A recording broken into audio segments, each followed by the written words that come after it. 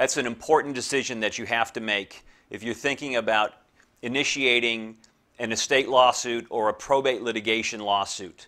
Why? Once you engage in litigation with a sibling, a brother, or a sister, that's probably going to irrevocably change your relationship with that person. Think carefully about the financial and personal reasons for initiating probate litigation. And think about the cost.